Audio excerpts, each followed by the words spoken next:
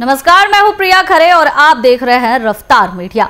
तो फ़िलहाल जिस दिन का बेसब्री से इंतज़ार था, यानी बीजेपी का संकल्प पत्र जारी हो गया है। पहले कांग्रेस की तरफ़ से न्याय पत्र जारी किया गया, उसके बाद राजद की तरफ़ से परिवर्तन पत्र जारी किया गया था, और अब बीजेपी की तरफ़ से संकल्प पत्र जारी कर दिया गया है। इस संकल्प पत्र को लेकर विपक्षी कई आरोप भी लगा रहे हैं। विपक्षियों का कहना है कि संकल्प पत्र नहीं है, बल्कि जुमलेबाजी की सरकार है, और ये जुमलेबाजी ही लेकर आई है। अब सवाल ये उठ रहा है कि जो संकल्प पत्र बीजेपी लेकर आई है, और जो बीजेपी का नारा है 400 पार। क्या इस संकल्प पत्र के तहत 400 पार का नारा जो है वो बीजेपी पूरा कर पाएगी? और जिस तरह से विपक्षी आरोप लगा रही है, क्या ये आरोप सही है? इन तमाम मुद्दों पर हम चर्चा करेंगे, लेकिन उससे पहले देखिए कि बीजेपी जो संकल्प पत्र जारी की है, उसके बाद प्रधानमंत्री नरेंद्र मोदी ने क्या कुछ कहा और विपक्षी पार्टियों ने क्या कुछ कहा है? संकल्प पत्र का बहुत इंतज़ार रहता है। और इसका एक बड़ा कारण है। दस वर्षों में भाजपा ने अपने संकल्प पत्र के हर बिंदु को गारंटी के रूप में ज़मीन पर उतारा है। भाजपा ने मैनिफेस्टो की सूचिता को फिर स्थापित किया है। ये संकल्प पत्र विकसित भारत के चार मज़बूत स्तंभ, युवा शक्ति, नारी शक्ति, गरीब, किसान, इन सभी को सशक्त करता है। हमारा फोकस डिग्निटी ऑफ़ लाइफ उस पर है। हमारा फोकस क्वालिटी ऑफ़ लाइफ उस पर है। हमारा फोकस निवेश से नौकरी, निवेश से नौकरी पर भी है। इस संकल्प पत्र में क्वांटिटी ऑफ़ अपॉर्चुनिटीज़ और क्वालिटी ऑफ़ अपॉर्चुनिटीज़ दोनों पर बहुत ज़ोर दिया गया है। 80 परसेंट किसान हैं 80 परसेंट किसानों के बारे में सिक्योरिटी कितना नौकरी देंगे, नहीं देंगे, इसके बारे में कोई चर्चा, रोज़गार की नौकरी की नहीं है। बिहार जैसे गरीब प्रदेश, बिहार के साथ साथ और जितने गरीब प्रदेश उनको आगे बढ़ाने के लिए कुछ नहीं केवल इधर उधर की बातें और इसी पर चर्चा करने के लिए हमारे साथ मेहमान जुड़ चुके हैं, हमारे साथ बीजेपी से जुड़ चुके हैं खेमचंद शर्मा जी, वही कांग्रेस से हमारे साथ पर्ल चौधरी जी जुड़ चुकी हैं। दोनों मेहमानों का बहुत बहुत स्वागत है।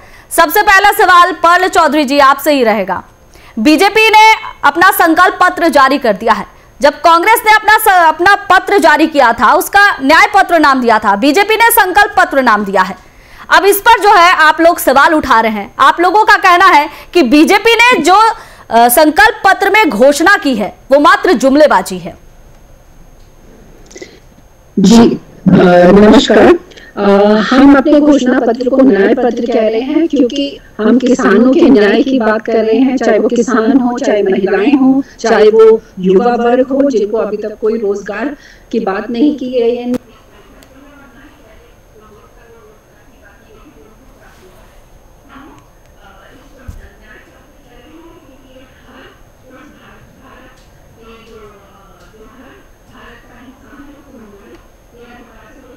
चाहिए, उसको वो हक आज इन दस सालों में नहीं मिला है। और आज मैं बहुत महत्वपूर्ण बात कहना चाहूँगी कि आज बाबा भीमराव साहब जी की एक सौ तैतीसवीं जयंती है। और आज देखिए, आज ही इन्होंने अपना जो है घोषणा पत्र, जो संकल्प पत्र, जिसको नाम दिया है, उसको निकाला है। तो ये सारी जो हमें जो हमारे को ताकत मिलती है हमें संविधान से मिलती है और ये जो राइट टू डिग्निटी की बात करते हैं वो भी हमें संविधान से मिलता है। और आज हम चाहे आपके बारे में मीडिया की बात करें तो मीडिया जिसको फोर्थ पिलर ऑफ़ डेमोक्रेसी कहा जाता है ये सारी जो सुविधाएँ हैं हमें हमारा संविधान देता है। और आज आपकी बार 400 पार का नारा देके संविधान को बदलने की बात करते हैं इनके बहुत सारे कैंडिडेट्स हैं जिन्होंने बोला भी है कि 400 पार संविधान बदलने के लिए किया जाना चाहिए। तो ये कहीं ना कहीं इनकी मंशा दर्शाता है और दस सालों में अगर इन्होंने किया होता तो इस तरह का जुमलेबाजी वाला पत्र मैनिफेस्टो इनको जारी करने की ज़रूरत नहीं होती। जी, चलिए, खेमचंद जी,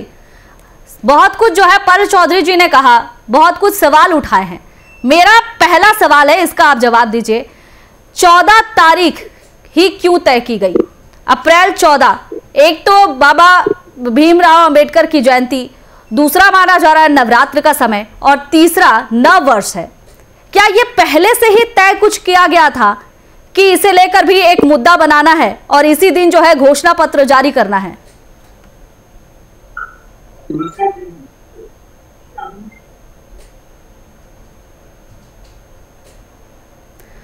खेमचंद जी, आपकी आवाज़ हम तक नहीं पहुँच पा रही है। आवाज़ सही है आपको? जी जी आ रही है। हेलो जी आवाज़ आ रही है बोलिए। नमस्कार। वास्तव में बाबा साहब भीमराव अंबेडकर जी को मान सम्मान देने का काम भारतीय जनता पार्टी ने किया है मोदी जी ने किया उससे पहले कांग्रेस लगातार उनको इग्नोर करते रहे जो मान सम्मान उनको मिलना चाहिए था वो नहीं दिया। चाहे दिल्ली में स्मारक बनाने की बात हो आदरणीय भीमराव अंबेडकर जी की जयंती होती है उस समय पूरे देश में उत्सव मनाने की बात हो और सामाजिक समरसता के तहत सभी जातियों को, सभी समाज के वर्गों को एम्पावर करने की बात हो, उनकी सेवा करने की बात हो, उत्थान करने की बात हो सारे कार्य आदरणीय रामेश्वर मोदी जी ने किए। नवरात्रि का दिन है, शुभ दिन माना जाता है, शुभ समय माना जाता है। तो ये सारी चीज़ें भी ध्यान में थी और आदरणीय रामेश्वर मोदी जी सेवा करते हैं। आदरणीय प्राइम मिनिस्टर मोदी विकास पे फोकस करते हैं। नारी शक्ति में फोकस करते हैं। महिलाओं के लिए काम करते हैं। लगातार लेकिन दो चीज़ें जो है कांग्रेस ने कहा है। राहुल गांधी ने कहा है कि दो चीज़ें आपके संकल्प पत्र में नहीं है। एक बेरोजगारी दूसरा महँगाई। ये दो बातों से बीजेपी भागती है।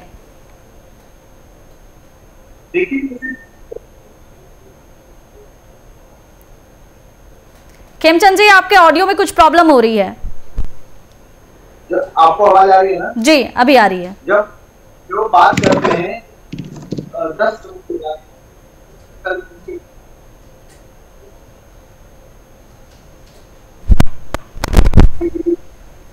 बिना जॉब के जब हम कह रहे हैं कि हम काम बना रहे हैं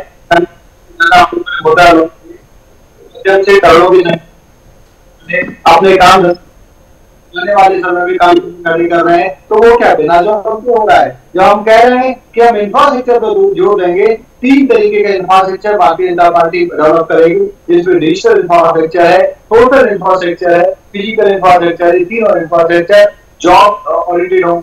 और हम हमारा फोकस है, हमारी जो विकसित संकल्प पत्र है, विकसित भारत संकल्प पत्र है, उसका भी जो फोकस है, वो है इन्वेस्ट इन्वेस्टमेंट टू जॉब हम हर जगह केंद्र में केंद्र में रखते हैं को केंद्र में रखते हैं देशवासियों के को केंद्र में हैं। ये लोग पढ़ते लिखते नहीं कुछ नहीं किया, इसलिए इनको लगता है कि हम कुछ नहीं करने वाले। हम लोगों ने 25 करोड़ से ज़्यादा लोगों को मांग गरीबी से बाहर निकाला है। आज पॉइंट एट परसेंट के आसपास लोग हैं जो मांग गरीबी के अंतर्गत और वो भी जल्दी खत्म हो जाएगी। क्योंकि आदरणीय प्राइम मिनिस्टर मोदी जी ने जो बेसिक ज़रूरत है लोगों की, उसको पूरा करने का काम किया है। खाना आप देखेंगे कोई भूखा नहीं सोता सभी को प्रचुर मात्रा में राशन दिया जा रहा है। पहले नवंबर दिसंबर में राशन खत्म हो जाता था। आज बोरी भर के अनाज गरीब के घर में भी आपको मिल जाएगा। आदरणीय प्राइम मिनिस्टर मोदी जी ने अच्छे स्वास्थ्य के लिए आयुष्मान भारत कार्ड के तहत सभी को स्वास्थ्य की गारंटी दी है मोदी जी की गारंटी दी हम सब आपने स्वास्थ्य की बात की है खेमचंद जी तो सत्तर साल से जो ज़्यादा के लोग हैं वृद्ध हैं उनके और सभी मुफ़्त इलाज किए जाएँगे। जो सक्षम है उनके लिए ज़रूरत क्या है? बीजेपी ने अपने संकल्प पत्र में लिखा है लेकिन जो लोग सक्षम हैं उन्हें तो नहीं लगता है कि ज़रूरत होगी मुफ़्त इलाज की।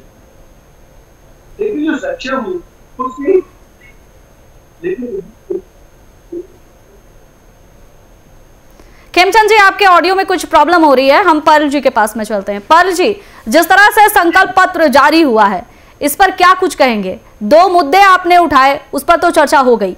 लेकिन इसके बाद भी कई सारे ऐसे जो है वादे किए गए हैं बीजेपी की तरफ़ से। और यह कहा गया है कि इन्हीं वादों के तहत वो चुनावी मुद्दे है लेकर आए हैं और जनता के समक्ष जाएँगे और जनता कहीं ना कहीं उन पर भरोसा जताएगी, उन पर प्यार जताएगी और 400 पार का वो नारा लगाए हैं। जी ये पहली बार नहीं है जो इन्होंने संकल्प पत्र जारी किया है। 2019 के चुनाव में भी इन्होंने संकल्प पत्र जारी किया था। तो जो दिया जाए डेटा 2014 के मैनिफेस्टो के बाद उन्होंने क्या किया? उनके पास कोई डेटा नहीं है कि कितनी नौकरियाँ लगाई क्या? किसानों की इनकम जो 2022 तक डबल होनी थी, वो दुगनी हुई। किसानों का कर्ज ज़रूर दुगना हो गया, पर नौकरियाँ नहीं दुगनी हुई। और ये महिलाओं के उस बात करते हैं महिलाओं के सशक्तिकरण की तो मणि- मणि- क्या मणिपुर की महिलाओं को सशक्त होने का अधिकार नहीं है? और ये बात करते हैं कि महँगाई कम हुई है। मैं आपको बताती हूँ कि किस- तरह से महँगाई दर बढ़ी है।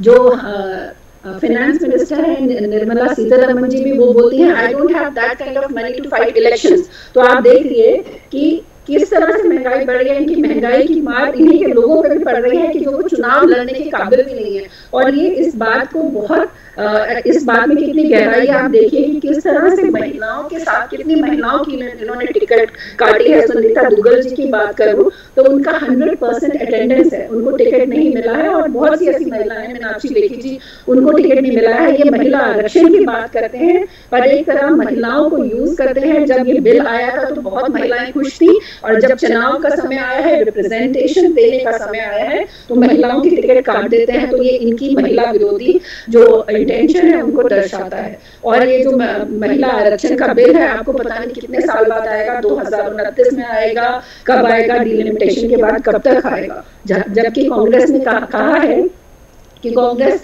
आते ही महिलाओं को गवर्नमेंट जॉब में 50 परसेंट रिजर्वेशन देगी जो गरीब पाल जी आप लोग ऐसा क्यों कह रहे हैं कि बीजेपी ने जो संकल्प पत्र लाया है इनका संकल्प पत्र लाने का मेन मुद्दा यह है संविधान बदलना। बार बार कांग्रेस जो है संविधान बदलने की बात क्यों कह रही है? जी, संविधान बदलने की बात इसलिए हो रही है क्योंकि अगर बहुत सारी कॉन्स्टिट्यूशन में अमेंडमेंट्स करने के लिए टू थर्ड मेजोरिटी की ज़रूरत है तो ये इस तरह की चीज़ें लाएँगे, इनको अगर इनके पास टू थर्ड मेजोरिटी है, इनको कोई हेल्दी डिबेट डिस्कशन पहले भी नीतियाँ आती थी बट उन पर डिबेट होता था डिस्कशन होता था, और उसके बाद जनता में आती थी बट अगर इनको इनके पास 272 से ऊपर सीट आएँगी सॉरी टू चार सौ पार से टू थर्ड मेजोरिटी से ये बहुत सारे नियम कानून ऐसे लाएँगे, जो पूरे अ, संविधान को बदल सकते हैं उसके जो जो बोलते हैं ना बेसिक स्ट्रक्चर है जो संविधान का उसमें बदलाव ला सकते हैं। चलिए खेमचंद जी पल चौधरी ने कुछ आरोप लगाए हैं। कांग्रेस कह रही है कि संकल्प पत्र संविधान बदलने के लिए यह पत्र कहा जा सकता है। आपको आवाज़ सही आ रही है? जी आ रही है। देखिए संविधान बदलने की हमारी कोई मंशा नहीं है। हम अपने देश को एम्पावर करना चाहते हैं विकसित राष्ट्र बनाना चाहते हैं आगे लेना चाहते आगे ले जाना चाहते हैं और हर एक वर्ग को हम एम्पावर करना चाहते हैं। आदरणीय प्राइम मिनिस्टर मोदी ने चार वर्ग तय किए हैं। महिला युवा गरीब और किसान। और चारों के हित में लगातार योजना लेकिन महिलाओं के लिए बात तो कांग्रेस ने भी की है सर। क्या महि- बात की महिलाओं के लिए तो कहा है कि एक लाख सालाना देंगे। कहा है ना अपने अपने न्याय पत्र में तो उन्होंने महिलाओं का भी ज़िक्र किया है ना सर? एक लाख सालाना देंगे। पहले क्यों ले दिया पैंतीस साल में एक हज़ार रुपए भी दिया है। एक लाख तो बहुत बड़ी बात है। जी। इन्होंने रिजर्वेशन नाम को नहीं किया। इन्होंने वर्किंग वुमेन्स की छुट्टी बढ़ाई। तीन महीने की छुट्टी मिलती थी। वर्किंग वुमेन्स को वर्किंग वुमेन है। शादी के बाद प्रेगनेंसी में अब हम लोगों ने उसको छह महीने तक किया फिर लीव को। आज अगर बेटी पैदा होती है बेटी को आप तो कन्या योजना के तहत अकाउंट खुलवाओगे सबसे ज़्यादा ब्याज देने का काम ताकि माँ बाप पे प्रेशर ना पड़े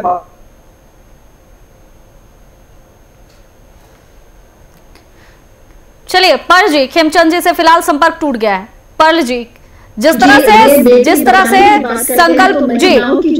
सॉरी हाँ। जी। पर्ल जी पर्ल जी प्रधानमंत्री नरेंद्र मोदी ने एक बात कही और ये बातें जो है अब समझ से परे है। गैस कनेक्शन की उन्होंने बात की। जिस तरह से गैस सिलेंडर के दामों में वृद्धि देखी गई अब उन्होंने एक नया नया चीज़ कहा है एक नई बात कही है। कि अब पाइप के ज़रिए गैस कनेक्शन घर घर पहुँचाया जाएगा? क्या इसी दाम में पहुँचाया जाएगा? या दाम में वृद्धि होगी? ये भी एक बात जनता सोच रही है कि उज्ज्वला योजना जिस तरीके से लाई गई थी, इस पर तो बहुत सारे गरीब जो है वो गैस सिलेंडर ले ही नहीं पा रहे थे। जी ये सब जुमलेबाजी है। बहुत सारे गरीब गैस सिलेंडर ले नहीं पा रहे थे उनको फ्री सिलेंडर मिल भी गए थे तो अगली बार उनके पास इतने पैसे नहीं थे कि वो सिलेंडर भरवा पाए जब आप बोल रहे हैं कि देश की 80 करोड़ जनता आज भी पाँच किलो अनाज पे निर्भर करती है तो आप देखिए कि किस तरह से देश की जनता को भी आत्मनिर्भर बनाने की बजाय इन्होंने किस तरह पाँच किलो अनाज पे मजबूर कर दिया है। चलिए खेमचंद जी। खेमचंद जी क्या कुछ कहेंगे? आपने सवाल तो मेरा सुन ही लिया है। आपसे भी वही सवाल रहेगा। गैस कनेक्शन की बात हो रही है। पाइप के ज़रिए घर घर गैस कनेक्शन पहुँचाया जाएगा। क्या तैयारियाँ हैं इसके लिए? देखिए, अभी तक माध्यम से शहरों में टाउन छोटे टाउन में गाँव में भी पाइप के माध्यम से गैस पहुंचाएँगे, सस्ती गैस पहुंचाएँगे और प्रचुर मात्रा में गैस मिले, लगातार गैस मिले, ये हम लोग करके दिखाएँगे। आदरणीय प्राइम मिनिस्टर मोदी जी ने जो काम करके दिखाया, सब जानते दो हज़ार चौदह से पहले सिफारिश करनी पड़ती थी। अगर आपको गाँव में गैस कनेक्शन लेना है छोटे टाउन में गैस कनेक्शन लेना है। एमएलए, एमपी के पास जाके हाजिरी लगानी पड़ती थी। सिफारिश के लिए लेटर लिखवाना पड़ता था। और वो आपको कई बार बुलाते थे। लंबी लाइन लगती थी। पाँच छह आठ महीने में जाके आपका कनेक्शन मिलता था। हम लोगों ने कनेक्शन गैस की कंपनियों को गाँव तक भेजा, गरीबों तक भेजा, खुद जाके उन्होंने कनेक्शन कनेक्शन दिए, चूल्हे दिए। दस करोड़ से ज़्यादा कितना लाभ मिला सर। कनेक्शन ज़रूर दिए। उज्ज्वला योजना लेके आई बीजेपी लेकिन क्या गरीबों को लाभ मिल पाया? क्या गरीब जो है एक हज़ार के गैस सिलेंडर खरीदने में सक्षम है सर? मिला क्यों नहीं मिला? सही नहीं मिला।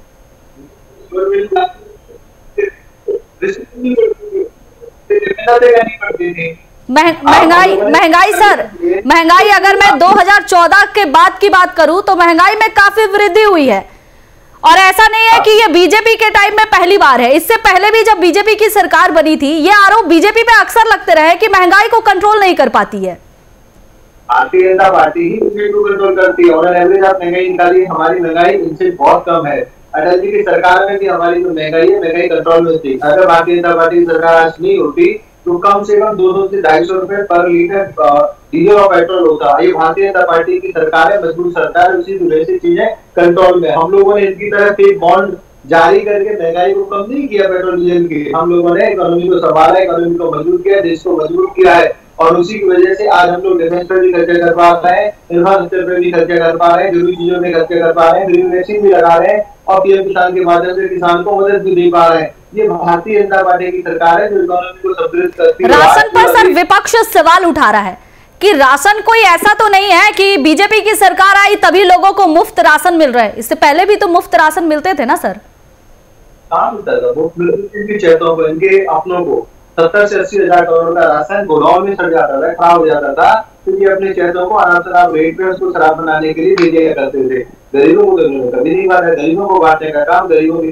है मोदी जी ने किया है। उससे पहले सोच ही नहीं पाते थे देखिए, हमारा जो काम है एम्पावरमेंट का है, आगे ले जाने का है, हम सिर्फ़ वायदे नहीं करते, करके दिखाते हैं और इस जो हमारा जो तीसरे टर्म के लिए हमारा विकसित भारत संकल्प पत्र है, इसमें हम लोगों ने पूरा दिशा दिखाई है, पूरा एक रोडमैप प्रस्तुत किया है कि इस तरीके से हम देश को विकसित राष्ट्र बनाएँगे। हम लोगों ने दसवें नंबर से पाँचवें नंबर तक अपनी इकोनॉमी को पहुँचाया, अब हम अगले एक दो साल में इकोनॉमी को तीसरे नंबर पहुंचाएँगे, दूसरे नंबर और पहले नंबर के लिए। हम लोगों ने पूरी तरीके से रोडमैप बनाया है। ये जो आज का समय है आज जिस तरीके सरकार काम कर रही है आने वाले एक हज़ार साल तक हमारे देश की फाउंडेशन तय होगी हमारा देश पूरे विश्व को लीड करेगा फिर से विश्व गुरु बनेगा उस ओर हम आगे बढ़ रहे हैं उस ओर हम लोग एक्टिविटी कर रहे हैं और हमारी जो सरकार है मजबूती से आगे बढ़ेगी। हम लोगों ने इंफ्रास्ट्रक्चर पे ज़ोर दिया है क्योंकि इंफ्रास्ट्रक्चर आने वाले समय में पच्चीस पचास सौ साल तक लोग उसको यूज़ करते हैं आने वाली जनता यूज़ करते हैं इंफ्रास्ट्रक्चर के साथ इकोनॉमिक बढ़ती है इकोनॉमिक एक्टिविटी बढ़ती है। पाल जी प्रधानमंत्री नरेंद्र मोदी जिस भी जनसभा में जाते हैं, भ्रष्टाचार का मुद्दा ज़रूर उठाते हैं। आज मौका था संकल्प पत्र जारी करने का, लेकिन इस दौरान भी उन्होंने भ्रष्टाचार का मुद्दा उठाया और कहा कि जो भी भ्रष्टाचार में लिप्त है, उन्हें छोड़ा नहीं जाएगा, उन पर कार्रवाई तो ज़रूर होगी। जी, बिल्कुल, उन्होंने मुद्दा ज़रूर उठाया पर भ्रष्टाचार किस तरह से खत्म करेंगे इस बारे में कोई बात नहीं की। और जैसे खेमचंद जी ने भी बॉन्ड्स के बारे में बोला तो मुझे लगता है इलेक्टोरल बॉन्ड्स का इतना बड़ा मुद्दा है बॉन्ड्स का नाम तो इनको लेना ही नहीं चाहिए। और ये इंफ्रास्ट्रक्चर की भी बात कर रहे थे तो उसमें भी किस तरह का भ्रष्टाचार है, मैं आपको चाहे गुड़गांव शहर के बारे में ले लीजिए, मेट्रो जो है एक इंच आगे नहीं बढ़ा है जो सिविल हॉस्पिटल है, उसकी हालत बिल्कुल बेकार है, बस स्टैंड एकदम टूटने वाला है। तो किस तरह के इंफ्रास्ट्रक्चर की बात कर रहे हैं? और यही हालत सब जगह सरकारी स्कूल एकदम बंद हो गए हैं। सर, जितनी भी नौकरियाँ खाली पड़ी हैं, दो करोड़ रोज़गार की ये लोग जो बात किया करते थे, अगर दो करोड़ रोज़गार मिला होता तो अस्सी करोड़ जो जनता है, वो पाँच किलो अनाज पे नहीं निर्भर होती, क्योंकि उस एक आदमी के साथ उसके परिवार के चार लोग ज़रूर आगे बढ़े होते। तो आप किस चीज़ के बारे में बात कर रहे हैं? ना आपने रोज़गार दिया, ना किसानों की इनकम डबल की है। आप बात करते हैं कि आप 2019 में 2022 की बात कर रहे थे इनकम डबल करने की। तो आप हमेशा आगे की बात करते हैं। आपने किया या कुछ नहीं किया, उसके बारे में बात करते नहीं है। हम भी आज अगर नौकरी लेने जाएँगे तो अपना पीछे किया हुआ जो काम है, वो दिखाएँगे, तब हमें नौकरी मिलेगी। पर यहाँ पे क्या होता है? ये बोलते हैं कि हम आगे आएँगे तो दो हज़ार की बात कर रहे हैं कि तब तक भारत को विकसित बनाएँगे। वो रहेंगे तो विकसित बनाएँगे। ना हरियाणा में भी। अब की बार पिछहत्तर पार का नारा था बट चालीस सीटों पर सीमित होकर रह गए थे। और मुझे नहीं लगता इन लोगों को सौ से ऊपर भी सीटें आएँगी। तो ये इस तरह का एक माहौल क्रिएट कर रहे हैं पर सौ सीटों पे ही शायद पर्ल जी। पर्ल जी जिस तरह से आरोप संकल्प पत्र में लगाए जा रहे थे जिस तरह से तेजस्वी यादव ने कहा कि बिहार के लिए इस संकल्प पत्र में कुछ भी नहीं है लेकिन अगर कांग्रेस की बात की जाए तो कांग्रेस ने भी तो अपने न्याय पत्र में बिहार की बात नहीं की। पौंडुचेरी को कहा गया कि पूर्ण राज्य का दर्जा दिया जाएगा। विशेष राज्य का दर्जा दिया जाएगा लेकिन बिहार के लिए बात नहीं की गई। जी बिहार की बात नहीं की है पर बिहार में रोज़गार तो मिले हैं ना।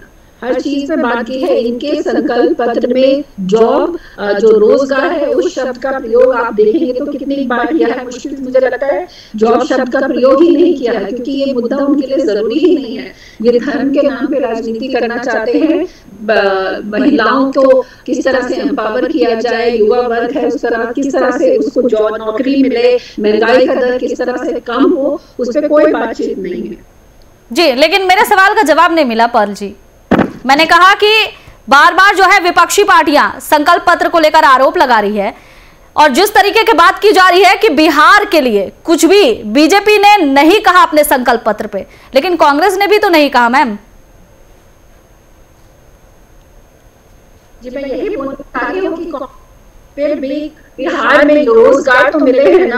लोगों को रोज़गार प्राप्त हुए हैं तो तेजस्वी यादव ने इनका पूरा डेटा भी दिया है कि रो, रोज़गार कितने प्राप्त हुए और कितने नहीं। तो और जिस तरह से कांग्रेस पार्टी के मैनिफेस्टो में भी है कि हर साल रोज़गार दिया जाएगा युवाओं को और जितनी भी जो गवर्नमेंट जॉब खाली पड़ी हैं उसमें भर्ती की जाएगी। तो ये सारा इस बारे में ज़रूर ज़िक्र किया गया है। जी खेमचंद जी कई तरह के वादे किए हैं आप लोगों ने। इन वादों को पूरा करना क्या संभव हो पाएगा? बिल्कुल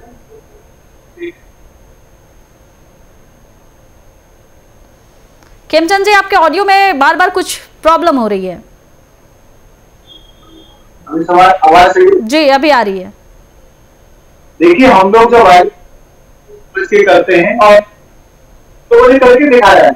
सामने लोग वो चीज़ें करके दिखाई है जो कांग्रेस के जमाने में असंभव थे। कांग्रेस बिल्कुल थी घरों में इज़्ज़त घर तक नहीं बना पाई टॉयलेट तक नहीं बना पाई। वो बनाने का काम हम लोगों ने किया। चौदह करोड़ से ज़्यादा लोगों को से देने का काम हम लोगों ने किया।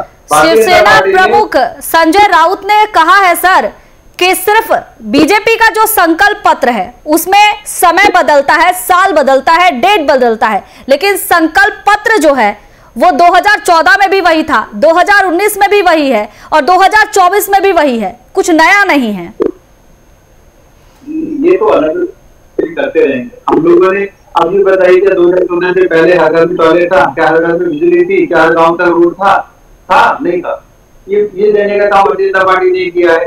क्या दो हज़ार चौदह से पहले एक किसान के से किसान को मदद मिलती थी? नहीं मिलती थी। क्या दो हज़ार चौदह से पहले फ्री में राशन सभी गरीबों को मिलता था, नहीं मिलता था? क्या दो हज़ार चौदह से पहले राफेल जैसे फाइटर प्लेन हमारी सेना के पास नहीं थे। क्या दो हज़ार चौदह से पहले बॉर्डर पे जो हमने इंफ्रास्ट्रक्चर बना है जिसमें हमने टनल बनाए रोड बनाए हाईवे बनाए, हम लोगों ने क्या वो पहले थे नहीं थे। दो हज़ार चौदह से पहले क्या हम पांचवी बड़ी अर्थव्यवस्था थे? नहीं थे, हम दसवीं अर्थव्यवस्था थे। क्या दो हज़ार चौदह से पहले भारतीय जनता पार्टी ने जो अभी ट्रिपल तलाक जैसा एक महापाप जो हमारी माता बहनों के साथ होता था, वो हटा, नहीं हटा। क्या 2014 से पहले 370 जैसी चीज़ हम्म। 370 जैसी संविधान में इन्होंने जो परिवर्तन किया था जिसकी वजह से जम्मू कश्मीर पूरी तरीके से भारत में नहीं विलय हो पाया तो हट पाया नहीं हट पाया। दो हज़ार चौदह से पहले मंदिर बन पाया नहीं बन पाया। दो हज़ार चौदह से पहले क्या हम घुस के अपने दुश्मनों को उनके देश में मार पाते थे? नहीं मार पाते थे। हम तो चुप कर जाते जी क्या कुछ कहना है? खेमचंद जी ने बहुत सारी अपनी चीज़ें गिनाई कि बीजेपी ने सत्ता में आने के बाद क्या कुछ किया है। और इससे पहले कांग्रेस की सरकार थी यूपीए की सरकार थी। लेकिन इस तरह के काम नहीं हुए हैं। जी जो 2014 में ये अपना मैनिफेस्टो लेके आए जनता को इन पे भरोसा हुआ और जनता ने इन, इनको वोट दिया भारी मात्रा में वोट दिया। और जब ये पूरी तरह से 2019 में विफल हो गए तो फिर से पुलवामा अटैक की बात आई और इन्होंने जिस सैनिकों के राजनीति की और इस बात का खुलासा सत्यपाल मलिक जी ने भी किया है।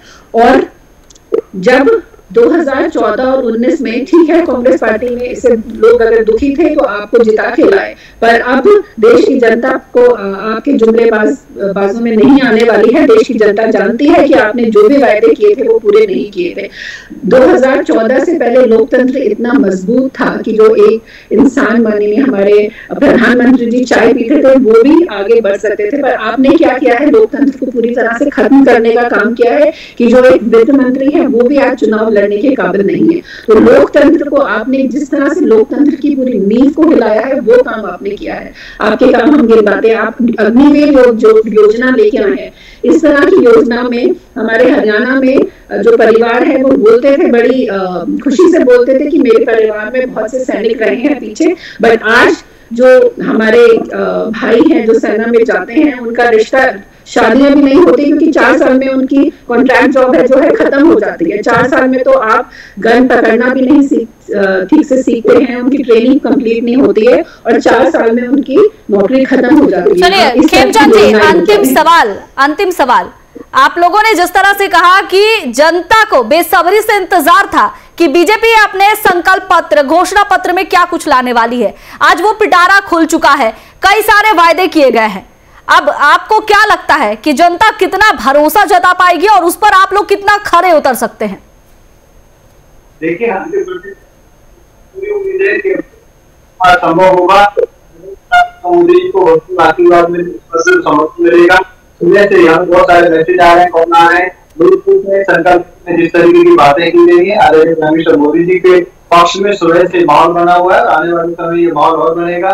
और पूरी उम्मीद है कि भारतीय जनता पार्टी अपने दम पे थ्री सेवेंटी पार करेगी और एनडीए गठबंधन चार सौ पार करेगा। चलिए पालू जी आपसे भी वही सवाल रहेगा कि जिस तरह से एक के बाद एक पहले न्याय पत्र उसके बाद जो है परिवर्तन पत्र और अब संकल्प पत्र जारी हुआ है। इसके बाद क्या लगता है? जनता कितना भरोसा कर सकती है कांग्रेस पर इंडिया गठबंधन पर? जी, जनता आप सब जान चुकी है, ये राम के नाम पे राजनीति करना जानते हैं, पर हो ये वही जो राम रचि राखे, और होगा वही जो जनता चाहेगी और हम जो मोदी जी की गारंटी नहीं भगवान भगवान राम की गारंटी पे विश्वास रखते हैं, संविधान बाबा राव भीमराव जी, जिन्होंने हमें ये संविधान दिया, उस पर विश्वास रखते हैं। और मैं यही जनता से अपील करूँगी कि वो संविधान को की र- के रक्षक बने और लोकतंत्र के रक्षक बने। और मैं ये चाहूँगी सोच समझ के अपना मत दें। चलिए, आप दोनों मेहमानों का बहुत बहुत धन्यवाद। तो आज बीजेपी ने अपना संकल्प पत्र जारी कर दिया और इस संकल्प पत्र के जारी होने के बाद विपक्षियों का कई तरह के बयानबाजी भी शुरू हो गई है। विपक्षियों का कहना है कि ये जुमलेबाजी है मात्र और उसके साथ ही कहा है कि 10 सालों में बीजेपी ने कुछ नहीं किया है, सिर्फ़ समय बदला है, साल बदला है। संकल्प पत्र में पहले भी बीजेपी ने वही कुछ लिखा था और इस बार भी वही कुछ है। अब संविधान को बचाने की जिम्मेवारी उन्होंने जनता पर छोड़ दी है। इसके साथ ही कई तरह के आरोप जो है विपक्षियाँ लगा रही है। दूसरी तरफ़ बीजेपी है जो कह रही है कि हमने महिलाओं की बात की, युवाओं की बात की, बेरोजगारों की बात की, किसानों का मुद्दा उठाया। तो हमने अपने संकल्प पत्र में सभी वर्गों को लेकर एक सोची समझे मुद्दे को चुना है। और हमें पूर्ण रूप से विश्वास है कि हमारा जो नारा है 400 पार का, वो इस संकल्प पत्र को देखते हुए जनता पूर्ण हमें समर्थन देगी और एक बार फिर से देश में एनडीए की सरकार बनेगी। फ़िलहाल इस डिबेट में बस इतना ही। आप देखते रहिए रफ्तार मीडिया। नमस्कार।